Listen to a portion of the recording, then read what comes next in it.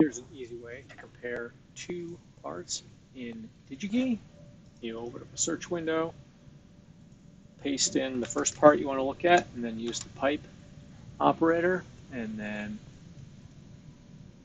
add the second part, and then search, and then both parts BSC and BSC show up,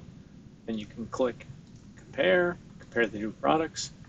and they then are shown side by side.